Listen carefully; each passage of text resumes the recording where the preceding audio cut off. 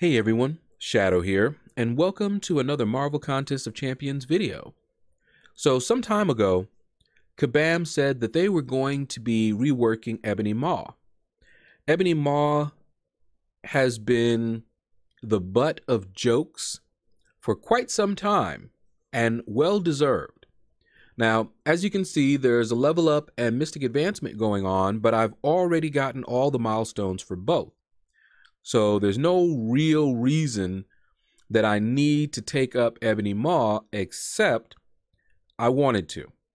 So I had taken Ebony Maw up to rank 4 because despite his low damage, he's actually really smooth to play. It is actually enjoyable, even though he hits very, very softly uh, I like fighting with him. And since this is just a four star, uh, a rank four meant that I would be using him in arena. I do not take any champion up to rank four and above unless I actually want to use them a lot in arena because I will be. Uh, sometimes I don't use my rank fours uh, if there is no champion that I want to go for and I'm just doing milestones, I don't use my 440s. But when I'm going for a champion, I use my, my rank fours. So since Kabam said they were going to rework him, and we were hoping that this meant he would be viable. And they reworked him. However, he still remains a soft touch. Uh, still not worth ranking up if you want someone who is viable. But I decided to go ahead and take him to rank five because one, I was sick of seeing him at rank four. And two, as I mentioned earlier, I actually do have fun fighting with him in arena. Now, I spend a lot of time in arena. Arena is the most activity uh, or is the one activity that I spend the most time in in this game. So if I like fighting with someone and the fights in the arena are short, then I want to rank them up so that I can use them. I use my champions more than most people use their champions because of arena. All right, so you got a little look at him, and we're going to take him into Realm of Legends. Now, before we head in, I'm going to show you the team that I went in here with, and we're going to take a look at uh, the synergies that are active. So for Ebony Maw, you've got this crit synergy. He's going to start the fight with a 50% crit rating for 20 seconds. Uh, he's also got Cull.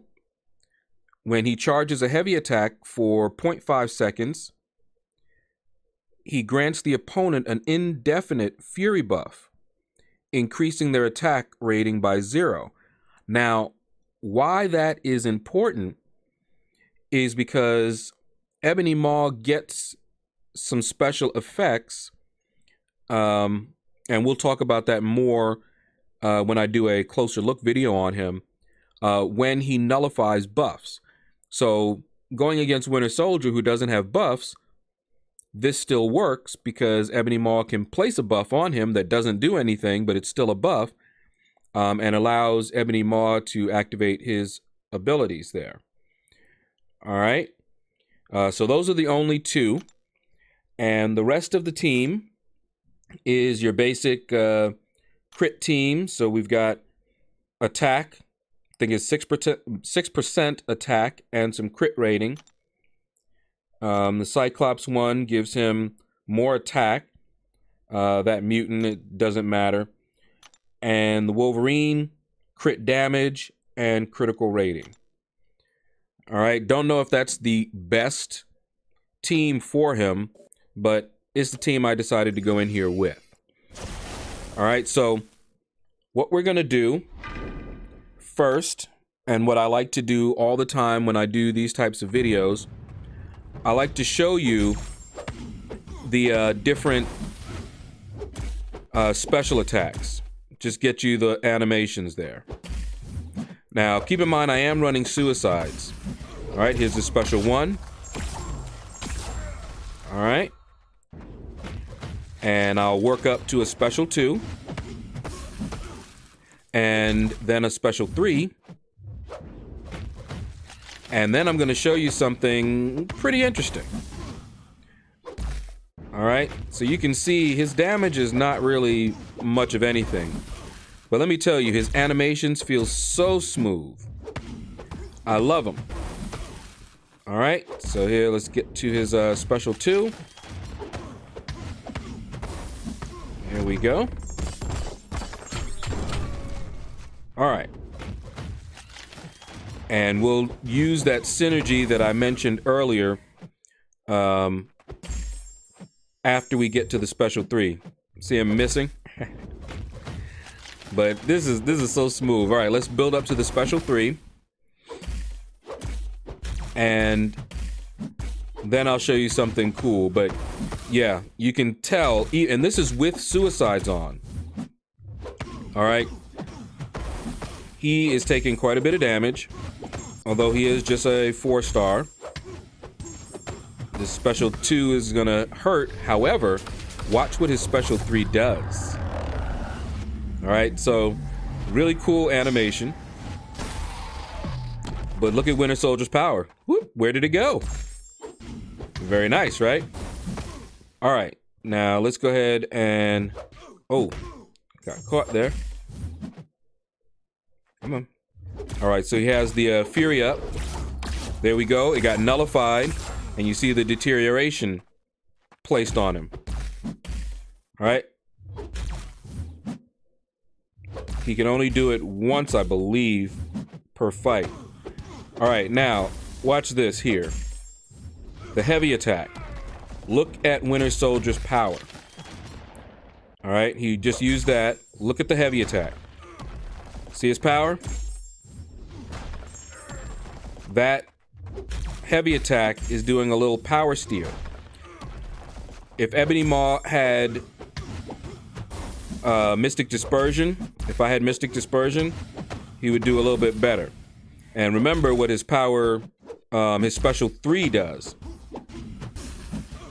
Okay. So here we go. If I don't want to deal with that special 2, fire off my special 3 and his power is going to be gone. So Ebony Maw has a little power control. See, he's gaining power when a soldier is, but look at the rate that I'm gaining power, and I don't have Mystic Dispersion on. Just look at this.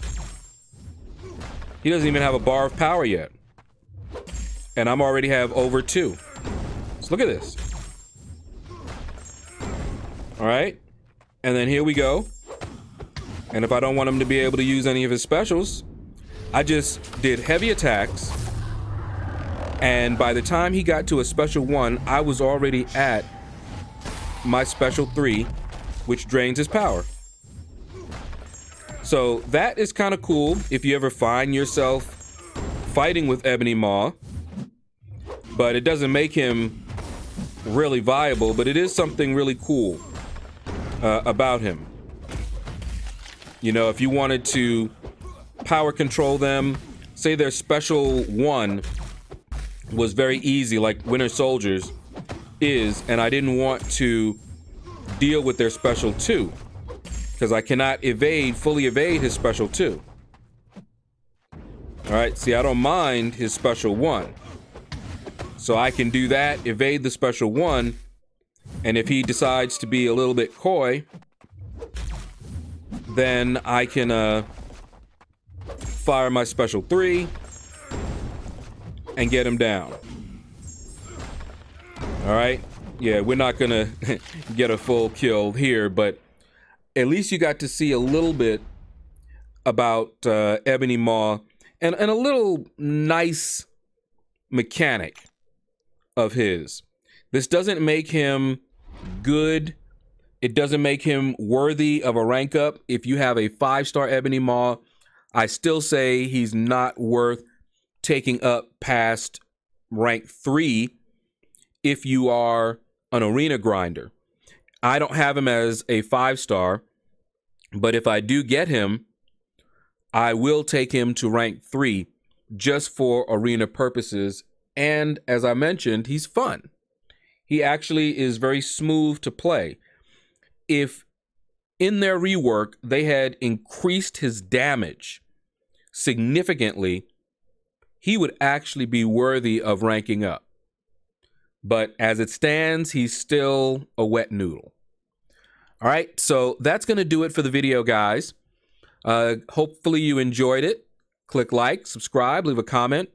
Let me know what you thought about the video. And you all have a blessed day.